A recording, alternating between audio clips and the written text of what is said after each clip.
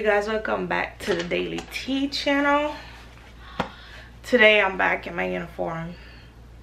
And um for those who doesn't know me i am sergeant sanchez and i am in the u.s army. So by the title of this video you already know what's popping.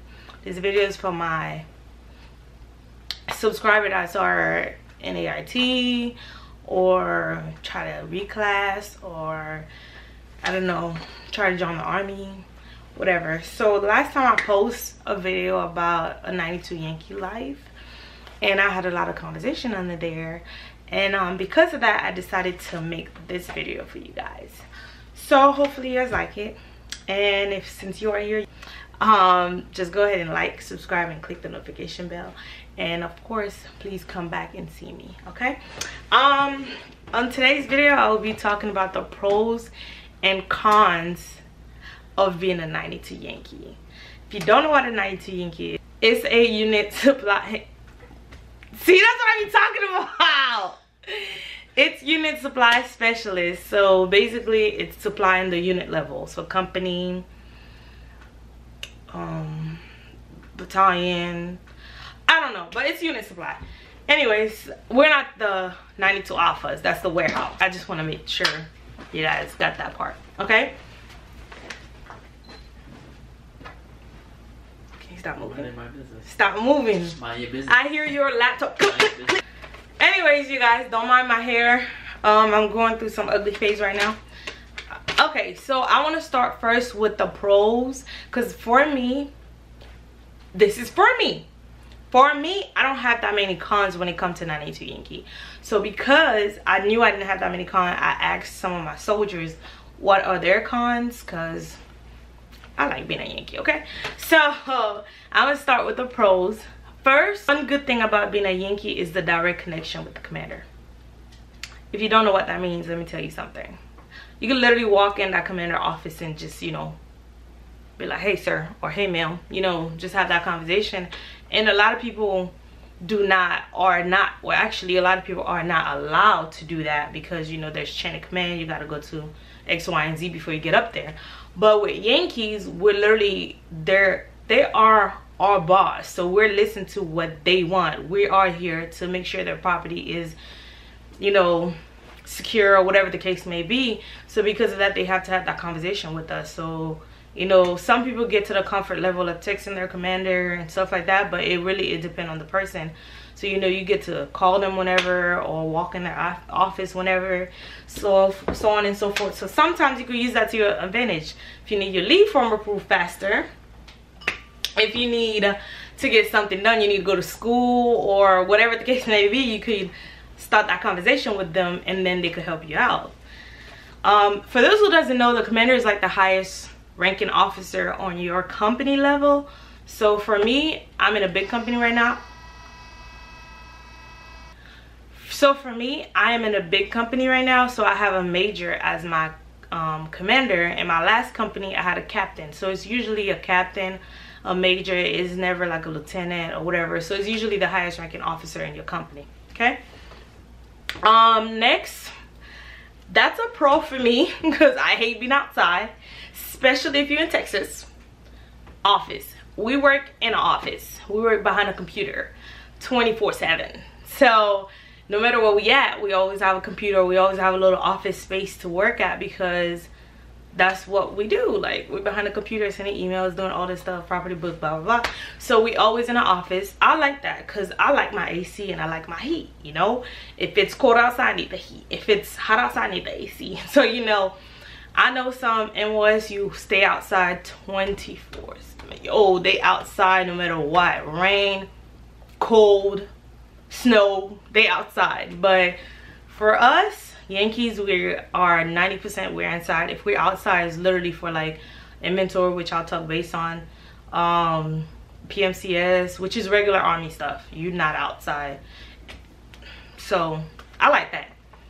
My next um pro is i had a list sorry. My next pro is people are nice to you because they want supplies. So people will kiss your butt and people fake smile in front of your face just so they could get what they want because they know you kind of like the plug. So you could you know order stuff give them the good stuff. You know in our unit we're not allowed to order gerber but let's say for instance by accident or we ordered or whatever the case may be we find orders um gerbers in our supply room we're gonna give it to the people we like. We're not gonna give it to people who rude you know stuff like that. So because of that people are usually you know your booty they usually nice to you because they want you to be able to have that you know hey i got some this you want it i got this you want it i got that you want it you know?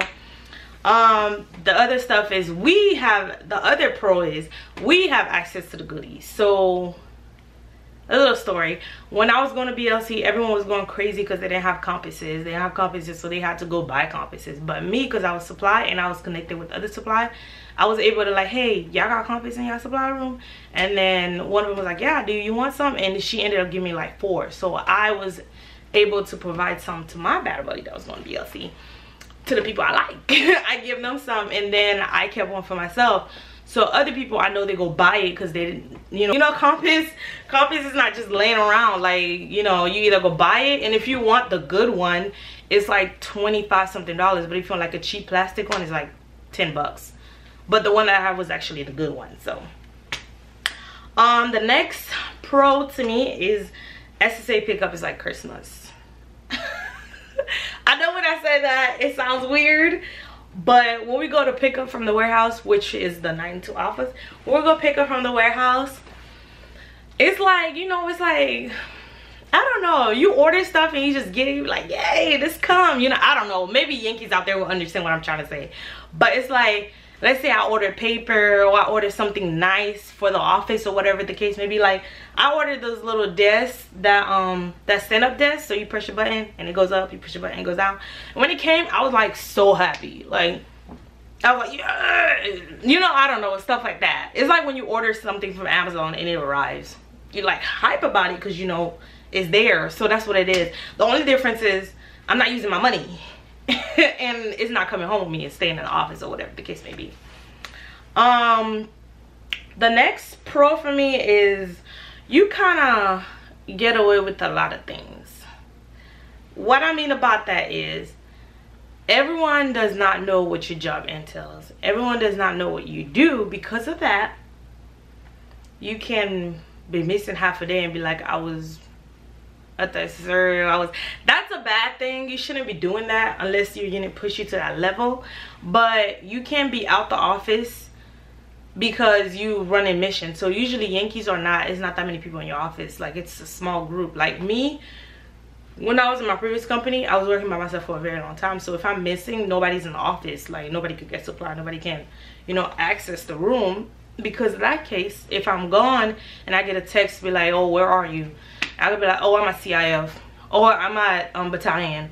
Or I'm I could just say where I'm at because they don't know what I'm doing there. And oftentimes we do have to go to these places to get stuff done. So you kind of get away with things. And uh, and also you can like make up your hours as long as it's like, you know, in the SOP or whatever the case may be. So when you make your hours, my hours, I open the office at 9.30. Doesn't mean I'm not there at 9. I'm not there till 9.30, but I don't open until 9.30. So my argument is I'm not open for customer until 9.30. But sometimes I'm not there until 9.30. let me not get myself get myself in trouble. So now I'm gonna jump over to the cons. I don't have that many because one my soldier cons was about the military. Everybody could come across those. I'm gonna talk about the cons that as a 92 yankee. As a 92 yankee the number one cons i'm pretty sure everyone here from yankees is change of command inventory. Y'all if you don't know what change of command inventory is and you're a yankee i'm gonna pray for you. Because it's hell especially if you're in a unit that's not organized. They don't care about their properties. They don't know their properties. They expect you to know everything. If you're in a unit like that it's gonna be a little difficult. But if you're in a, unit that's like squared away they know their stuff it's gonna be a little bit easier for you. But it's still a lot of paperwork either way. So you're gonna be working early in the morning to the dawn crack at night and it doesn't matter. And nobody care and you're not gonna get nothing after that. You're not even gonna get a thank you honestly be honest with you. Um the next con is uh oh overwork. So sometimes yankees overworks only because people just think we know everything about the property book like every single thing. And i literally the company that i'm in right now i'm about to leave in a few months.